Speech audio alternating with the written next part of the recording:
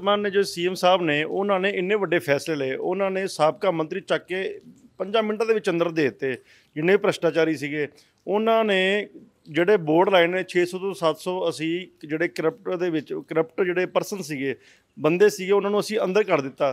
ਪਰ ਇੱਕ ਐਸਐਚਓ ਜਾਂ ਸਬ ਇੰਸਪੈਕਟਰ ਜਾਂ ਡੀਐਸਪੀ ਕਿੱਡੀ ਗੱਲ ਇਹਨਾਂ ਵਾਸਤੇ ਕਾਰਵਾਈ ਕਰਨੀ? ਜਦੋਂ ਐਸਐਸਪੀ ਲੈਵਲ ਦੇ ਅਫਸਰ ਚੰਡੀਗੜ੍ਹ ਦੇ ਨਾਲ ਨਾਲ ਦਿੱਲੀੋਂ ਲੱਗੇ ਹੋਣ ਨਾ ਜੀ ਫਿਰ ਇਦਾਂ ਹੀ ਚੱਲਦਾ, ਫਿਰ ਨਹੀਂ ਲੱਗਦਾ।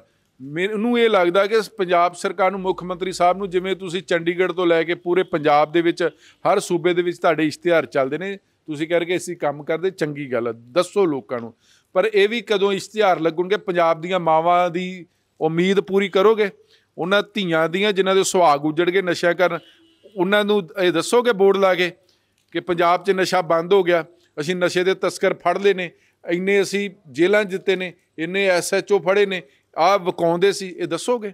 ਇਹ ਤਾਂ ਨਹੀਂ ਪੋਸਟਰ ਲੱਗਾ, ਇਹ ਤਾਂ ਨਹੀਂ ਐਡ ਆ ਰਹੀ ਵੀ ਕਿੰਨੇ ਤਸਕਰ ਫੜੇ ਨੇ, ਕਿੰਨੇ ਐਸਐਚਓ ਬਦਲੇ ਨੇ, ਇਹ ਜਿੰਨਾ ਚਿਰ ਤੁਸੀਂ ਪੁਲਿਸ ਵਾਲੇ ਨਹੀਂ ਨੰਗੇ ਕਰਦੇ ਜਿੰਨਾ ਚਿਰ ਇਹਨਾਂ ਅਜਿਹੇ ਅਫਸਰਾਂ ਦੇ ਖਿਲਾਫ ਸਖਤ ਕਾਰਵਾਈ ਨਹੀਂ ਕਰਦੇ, ਜੇ ਐਸਐਚਓ ਨੂੰ ਡੀਐਸਪੀ ਨੂੰ ਐਸਐਸਪੀ ਨੂੰ ਨਹੀਂ ਪਤਾ ਕਿ ਮੇਰੇ ਇਲਾਕੇ 'ਚ ਨਸ਼ਾ ਵਿਕਦਾ ਹੈਗਾ, ਉਹ, ਉਹਨੂੰ ਨੌਕਰੀ ਕਰਨ ਦਾ ਕੋਈ ਹੱਕ ਨਹੀਂ ਹੈਗਾ, ਉਹਨੂੰ ਇਹ ਕੁਰਸੀ ਲੈਣ ਦਾ ਕੋਈ ਹੱਕ ਨਹੀਂ ਹੈਗਾ ਐਸਐਚਓ ਦੇ ਅੰਡਰ ਕਿੰਨੇ ਕੀ ਪਿੰਡਾਂ ਦੇ 10 12 ਪਿੰਡ ਹੋਣਗੇ ਵੱਧ ਤੋਂ ਵੱਧ, ਤੇ ਜੇ 10 12 ਪਿੰਡਾਂ ਦੇ ਵਿੱਚ ਐਸਐਚਓ ਨੂੰ ਇਹ ਨਹੀਂ ਪਤਾ ਕਿ ਮੇਰੇ ਇਲਾਕੇ ਦਾ ਬਦਮਾਸ਼ ਕਿਹੜਾ, ਮੇਰੇ ਇਲਾਕੇ ਦਾ ਨਸ਼ੇ ਦਾ ਤਸਕਰ ਕੌਣ ਆ, ਕੌਣ ਗੁੰਡਾ, ਕੌਣ ਸਮੈਕੀਆ, ਕੌਣ ਵਿੱਚ, ਵਕਾਉਂਦਾ ਤੇ ਫਿਰ ਤੂੰ ਉਹਨੂੰ ਐਸਐਚਓ ਲੱਗਣ ਦਾ ਕੋਈ ਹੱਕ ਨਹੀਂ ਹੈਗਾ।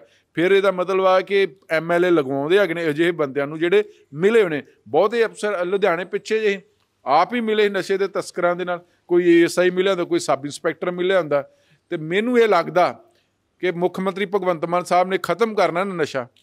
ਹਾਲਾਂਕਿ ਉਹਨਾਂ ਕੋ ਮਹਿਕਮਾ ਪੰਜਾਬ ਜਿਹੜੀ ਹੋਮ ਡਿਪਾਰਟਮੈਂਟ ਗ੍ਰਹਿ ਵਿਭਾਗ, ਉਹ ਕ੍ਰਿਸ਼ਨ ਕੁਮਾਰ ਨੂੰ ਦੇ ਦੇਣ।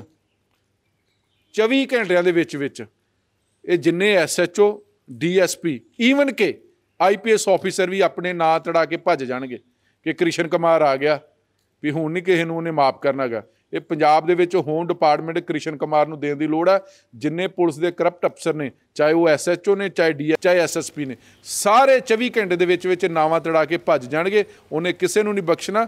ਉਹਨੇ ਤੇ ਚਾਰਜ ਸ਼ੀਟ ਕਰਨਾ, ਉਹਦਾ ਕੰਮ ਹੀ ਕ੍ਰਿਸ਼ਨ ਕੁਮਾਰ ਦਾ ਕਿ ਪਹਿਲਾਂ ਚਾਰਜ ਸ਼ੀਟ ਕਰ ਦੋ, ਆਪੇ ਧੱਕੇ ਖਾ ਦੋ। ਜਿਹੜਾ ਬੰਦਾ ਕੰਮ ਨਹੀਂ ਕਰਦਾ, ਫੀਲਡ ਦੇ ਵਿੱਚ ਬੇਈਮਾਨਾਂ ਦੇ ਨਾਲ ਮਿਲਿਆ, ਨਸ਼ੇ ਵਕਾ ਰਿਹਾ ਹੈਗਾ, ਮਾਵਾਂ ਦੇ ਕੁੱਖਾਂ ਉਜੜ ਰਹੀਆਂ ਨੇ, ਵਿਹੜੇ ਸੁ- ਸੁੰਨੇ ਹੋ ਗਏ ਨੇ। ਉਹੋ ਜਿਹੇ ਅਫਸਰਾਂ ਨੂੰ ਕੀ ਕਰਨਾ ਹੈਗਾ? ਤੇ ਮੈਨੂੰ ਲੱਗਦਾ ਭਗਵੰਤ ਮਾਨ ਸਾਹਿਬ ਨੂੰ ਚਾਹੀਦਾ ਹੋਮ ਡਿਪਾਰਟਮੈਂਟ ਦਾ ਅਗਰ ਸੈਕਟਰੀ ਕ੍ਰਿਸ਼ਨ ਕੁਮਾਰ ਨੂੰ ਲਾ ਦੋਗੇ ਨਾ, ਤੇ ਪੰਜਾਬ ਪੁਲਿਸ 24 ਘੰਟਿਆਂ ਦੇ ਵਿੱਚ ਸੁਧਰ ਜਾਏਗੀ ਆਈਪੀਐਸ ਅਫਸਰ ਵੀ, ਜਿਹੜੇ ਡਾਇਰੈਕਟ ਭਰਤੀ ਹੁੰਦੇ ਨੇ, ਉਹ ਵੀ ਇੱਥੋਂ ਨਾਮ ਤੜਾ ਤੜਾ ਕੇ ਨਾ ਕੋਈ ਯੂਪੀ ਭਾਜੂ ਕੋਈ ਬਿਹਾਰ ਭਾਜੂ ਕੋਈ ਮਹਾਰਾਸ਼ਟਰ ਭਾਜੂ ਕੋਈ ਹਰਿਆਣੇ ਭੱਜ ਜੂਗਾ।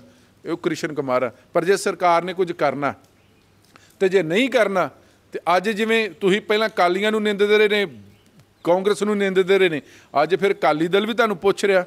ਕਾਂਗਰਸ ਵੀ ਪੁੱਛ ਰਹੀ ਆ ਵੀ ਕਿਉਂ ਨਹੀਂ ਖਤਮ ਕੀਤਾ ਨਸ਼ਾ? ਨਸ਼ਾ ਖਤਮ ਕਰਨਾ ਕੋਈ ਵੱਡੀ ਗੱਲ ਨਹੀਂ ਆ, ਲੇਕਿਨ ਤੁਹਾਡੀ ਨੀਅਤ ਸਾਫ਼ ਹੋਣੀ ਚਾਹੀਦੀ ਹੈ ਨਸ਼ਾ ਖਤਮ ਹੋ ਜਾਊਗਾ ਪੰਜਾਬ 'ਚ।